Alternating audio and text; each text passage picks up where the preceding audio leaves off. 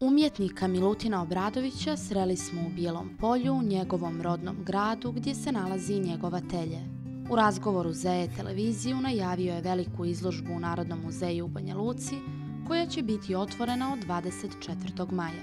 Moje slikarstvo je nekako imalo sreće da trasira samo sebi put. Ja nisam uh, jedan od uh, umjetnika kog Bog u tom svijetu i načinu nije pogledao, već naprotiv. E, tako da i 24. maja će se desiti e, u Banja Luci, u Nacionalnom muzeju Republike Srpske, velika moja izložba, na kojoj ću se predstaviti sa oko 80 eksponata, uglavnom u tehnici uljenih boja na platnu i radujem se tom događaju jer Banja Luka je mjesto gdje ja nikada nisam tu sam bio. A po prvi put ću imati priliku da e, i ja i moje slike zajedno pođemo u Banja.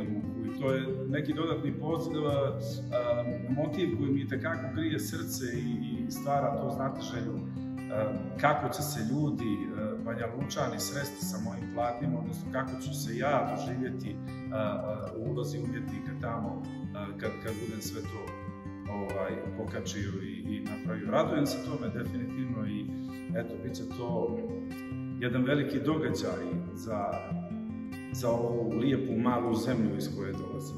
Čest motiv na njegovim slikama su konji.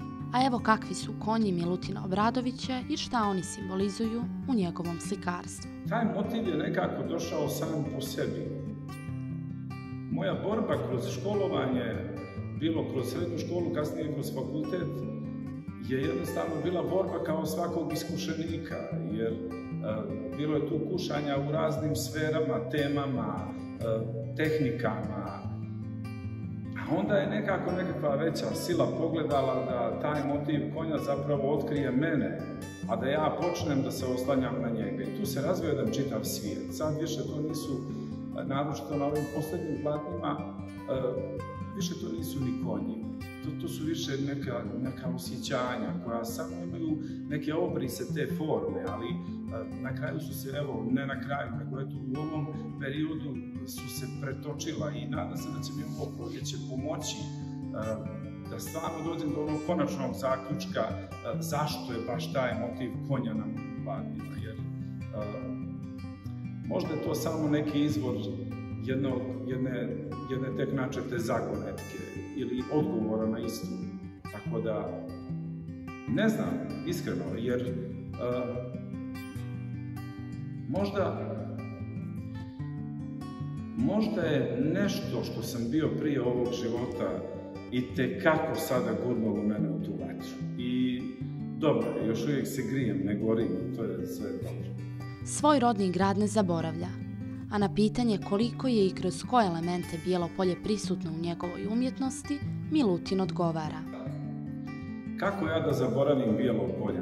To, to je nemoguće. Ja sam, svaki bijelopoljac je srećan, jako srećan čovjek što, što u jednom gradu ima i grad i zavičaj. I to je jedan od uh, glavnih elemenata koji ne da i nikako ne da da bude taj grad, odnosno zavičaj svoj zaboravljen. A na kraju, kako da zaboravim sve one zelene valove lima? Kako da zaboravim precrtan tu rijeku koja teče tačno po polovini mog uma, razmišljanja, sjećanja i svakojake budućnosti koju sebi zamišljam? Kako da zaboravim sve te e, spustove šlaufa, sve te zrele voćke, šljive, jabuke, koje smo krali onako kupajući se, jer je Lim bio igračka i glavni drug. Tako da, e, nemoguće je bilo polje e, u, u mojim temama, u mom motivu, u mom životu izostaviti iz mene. I drago mi je jako što mi je neka sila pomogla da na mojim platnima ima osjećanja i osjećaja bijelog polja i osjećaja tih zelenih šuma i livada koje se tako divno druže sa tim zelenim livama. Iz ateljeja u Bijelom polju Milutinove slike su obilazile mnoge gradove i države. Bile su predmet teme brojnih medija, a umjetnik otkriva kako doživljava taj susret publike sa njegovim dijelima. Ja sam moje djetinstvo proveo u jednom suludom ratu i buktio je da se urodi rat na ovom prostoru. Ja sam moje djetinstvo ili odrastanje ili sazrijevanje ili studentsku zrelost doživio u vremenu kad je naša zemlja bombardovana, kad su bili redovi za hranu i čuda, kad nam je svijet, hoću reći, kad nam je svijet bio mnogo, mnogo daleko od nas. I sada, kada se dešava da moja platna probude čula jednog Amerikanca ili probude čula jednog Francuza ili kraju probude čula, ne znam, bilo koga van ovih granica i prostora, kako da ne budem srećan, kako da nemam drugi osjećaj osim osjećaj sreće. Jer biti zapostavljen u mom slučaju nije značilo biti odbačen. Tako da u svakom slučaju sve to što se sada dešava mom slikarstvu i mom životu lično i životu jednog umjetnika iz Crne Gore je veliko, je ogromno. To je jedan ogroman, jedna ogromna količina radosti i zadovoljstva i potvrde da to što radimo je svjetski. Da to što radimo je dobro što radimo i da postoje umjetnici u ovoj zemlji kao što postoje i naučnici, kao što postoje i drugi ljudi iz svih društvenih oblasti koji rade dobre stvari i će ih svijet prepoznaje kao super talente ili će ih prepoznaje kao dobre lidere, ajde da kažem, u nekim svojim oblastima. Milutin piše poeziju, ali ipak smatra da se ove dvije umjetnosti nadovezuju jedna na drugu. Poezija je sve ono što je moj post. Poezija je nešto kada prestanu sve moguće dogme svih matematičkih funkcija moje ličnosti.